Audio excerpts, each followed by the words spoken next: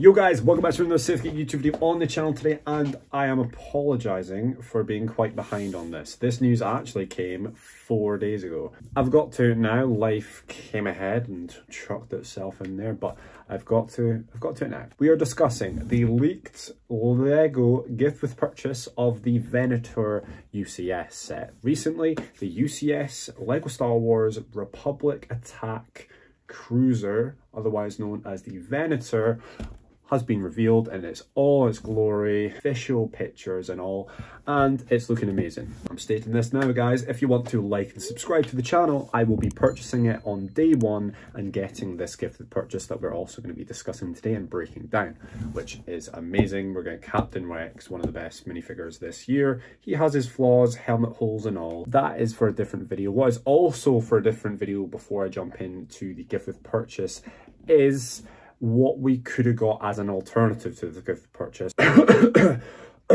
Rex's command room on the Venator. um, sorry, I just had a cough there. Um, so that will be a separate video. But today we are looking at this leaked uh, image here. So with the purchase of the $650, 550 pounds sterling UCS Republic Attack Shuttle Cruiser Venator, whatever long name, UCS Venator, you will be receiving this gift with purchase on screen now, which consists of two patches, and a Republic credit. We'll break this down and say things about why this is bad, this is good, etc. The two minifigures that you get involved in the set, you get uh, Admiral Yularen and you also get Captain Rex there in their full-fledged uniforms. They're looking not too bad in patches form. Would I have rather received maybe a, a, metal version of both of them probably. It's cheaper for them to create patches but there you go.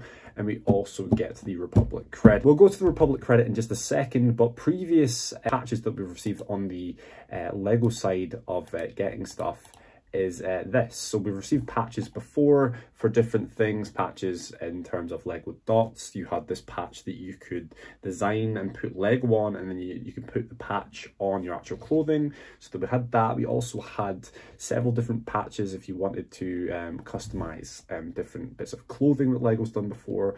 Um, you can see on screen now there's hats, there's this um, backpack that we've done before, other sort of patches that Lego's done before. So this isn't new for Lego doing patches. I think it's new for Star Wars. Correct me in the comments down below. I don't think Lego's ever received anything patches related ever before in terms of a Star Wars a gift with purchase or VIP um, Lego Insider gifts. I don't think anything Star Wars related has ever happened for that, but we have received something similar, Republic credit here. It's quite a cool credit. We see the Republic logo there. We also see uh, the band of the Lego studs at the top. We haven't seen the other side of the credit, what is on there. Hopefully it might be uh, something cool because it is the 20th year of the Clone Wars. So if the uh, Clone Wars logo was on the other side of the credit, that would be really good. Or it might be nothing, there might be nothing on the other side, or the very least, it should probably be the same um, logo as what we received here.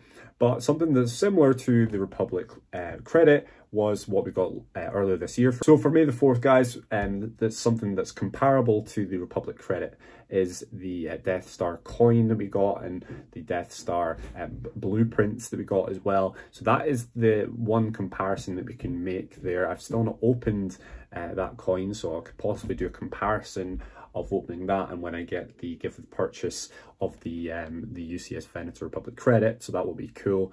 Uh, but we got we got an actual buildable set, which on May the 4th as well, with the little version of the mini Death Star 4595 Lego Star Wars set, which I would have wanted to really see.